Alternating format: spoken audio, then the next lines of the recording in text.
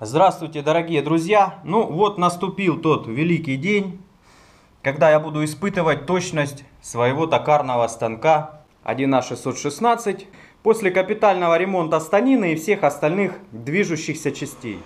Были ребята, которые весьма скептически относились к моему методу выставления оси передней бабки, а также совмещения оси передней и задних бабок.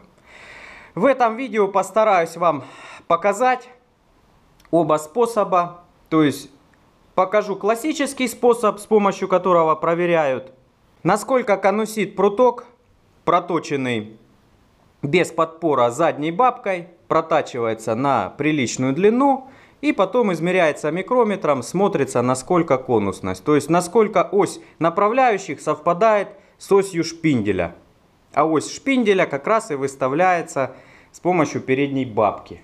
Также постараюсь показать проточку длинного прута на всю длину станины.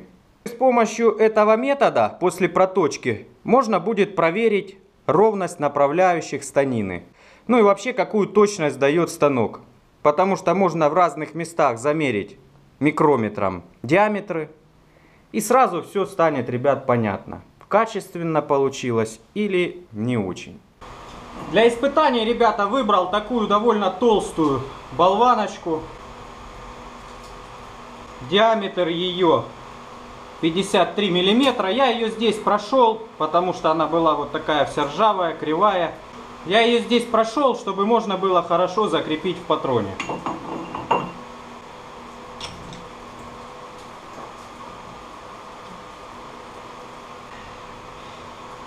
И буду делать контрольный проход. Контрольный проход будет на 200 миллиметрах. То есть надо еще немножко выдвинуть.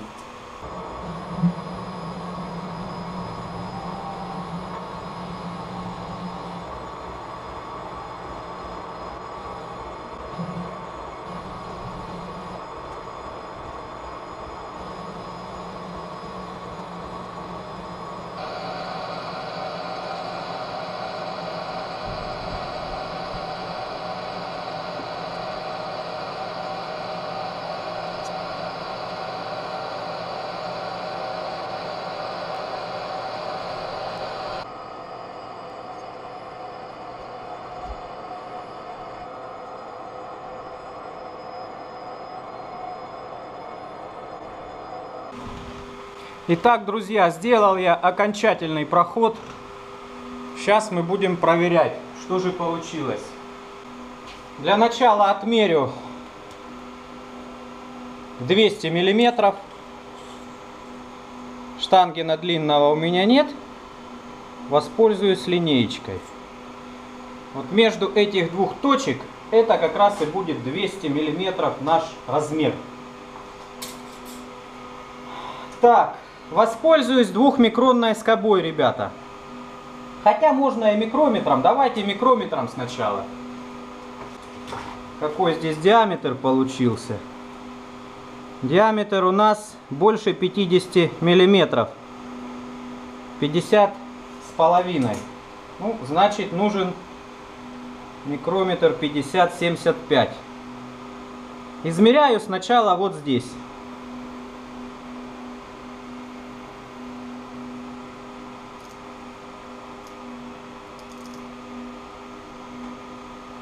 Так, видим 0. Это не 0, это 50 и половина миллиметра. Так, ну ладно, здесь померяем. Посредине.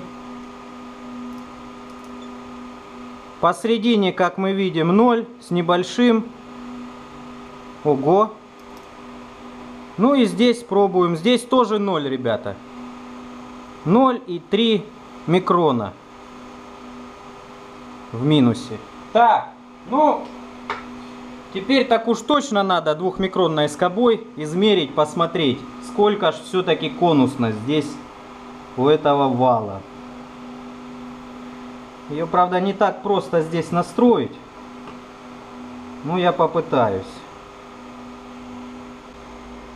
Выставил скобу, ребят, на 0. Все мы видим, вот он 0.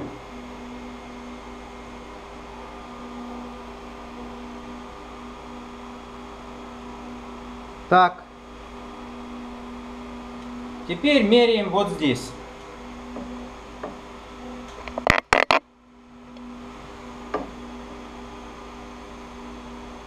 Ну здесь видно, что в минус, в минус на 4 микрона, на 3 микрона ушло в минус. Пробуем посередине.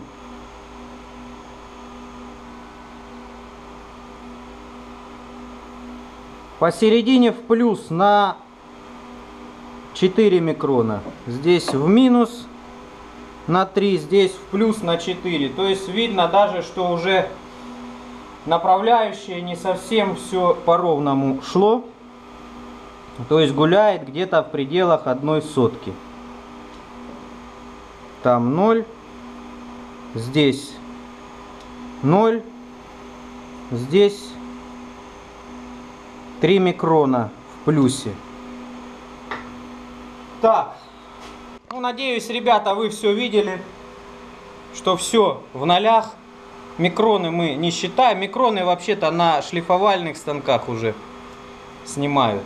На токарном тут дело идет о сотках.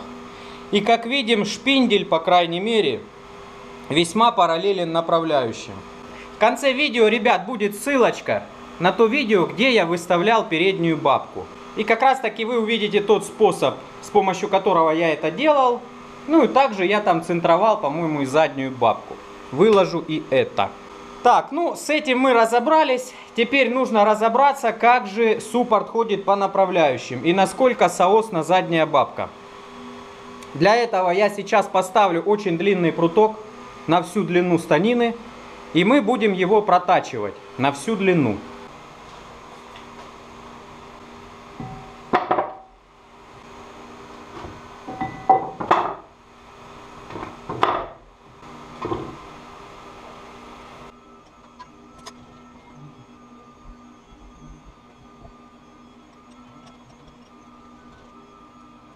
Вот так вот, ребят, выглядит это безобразие. Я практически вручную начинаю центровать центровкой, потому что страшно с таким вылетом. Можно теперь включить на малых оборотиках и засверлиться.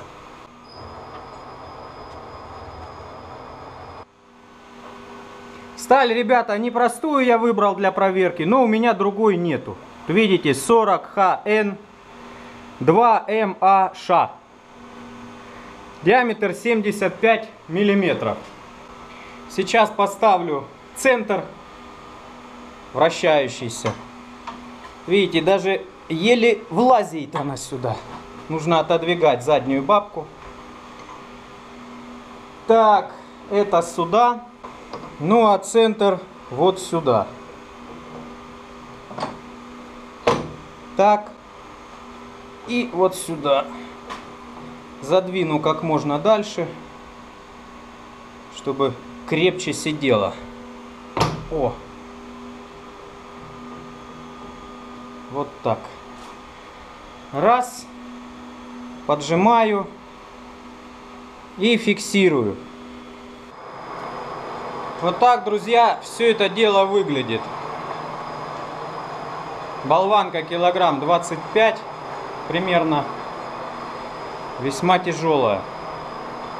И сталь непростая, поэтому обработка на низких оборотах. Обороты около 100.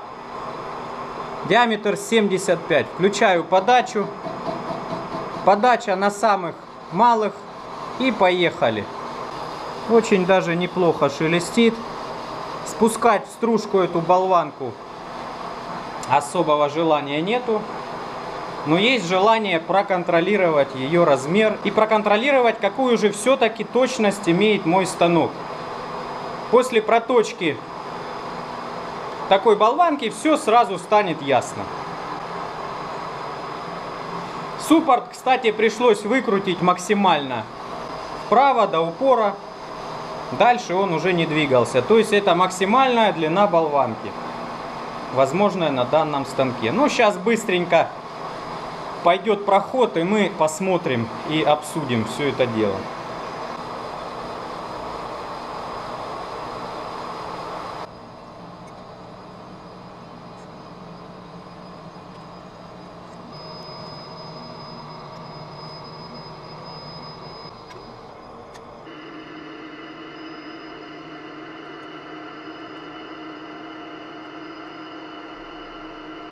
Ну все, ребята, вал проточен.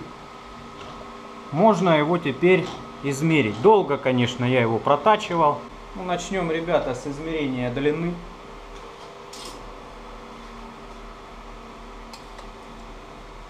Длина у нас порядка 630 миллиметров. Так, теперь берем микрометр и замеряем диаметр. Записывать буду только сотки.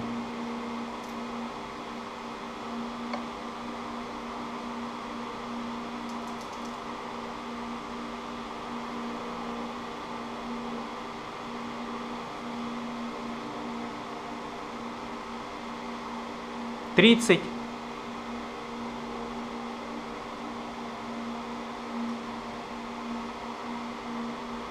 Измеряем рядом.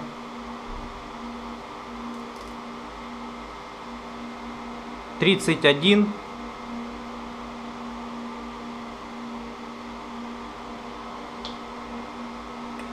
Измеряем рядом.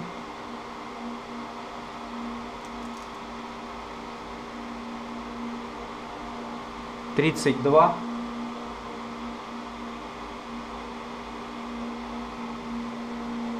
Так, дальше.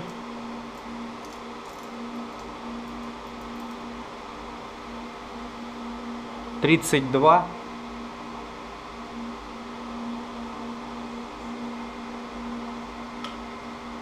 Дальше.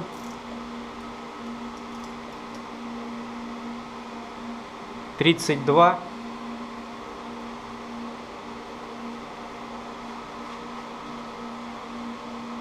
И в конце...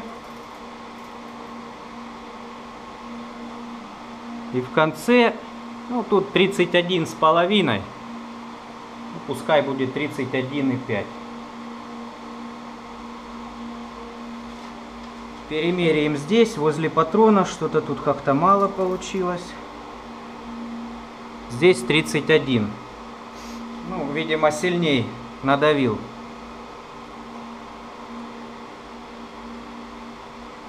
Так. Ну, ребята, для чистоты эксперимента еще раз. Все перемеряю.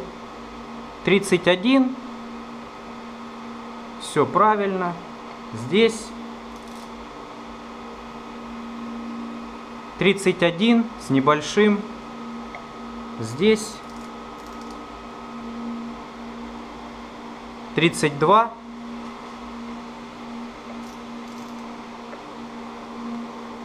Тридцать два.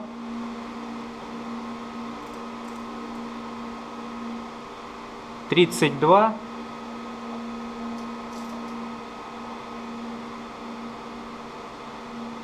Тридцать один. Ну тут что-то чуть меньше получилось почему-то. 31. А было 31 с половиной. Ну, в общем, чтобы среднее арифметическое получилось, нужно несколько раз измерить. Ну, вроде бы все примерно одинаковое. В общем, вот что получается. 31, 31, 32, 32, 32, 31 с половиной. И один раз 31 здесь получилось. В общем, смотрю я, что тут не больше сотки разница. Получается, ребята, учтите, что подперта в центр задней бабки и произведена проточка на всю длину. Получается разброс данных всего лишь навсего в одну сотку. Что я считаю весьма хорошим результатом. Причем обратите внимание, вот здесь получается в середине немного больше, в середине жесткости меньше. Ну хотя я не думаю, что такую болванку могло отжать. Но все-таки. Ну согласитесь, результат для такого станка, в принципе, превосходный. Для самодельного ремонта направляющих. Много скептиков шабрения было. Но, как видите, результат налицо. Очень мечтал я снять такое видео и показать вам, ребята, что же получилось. В общем-то, на этом буду закругляться. Выводы сделаете сами. Можете посмотреть мои видео про шабрение, как это все происходило. Не забывайте подписываться на мой канал, кто еще не подписан. Всех благодарю за внимание. Всем пока.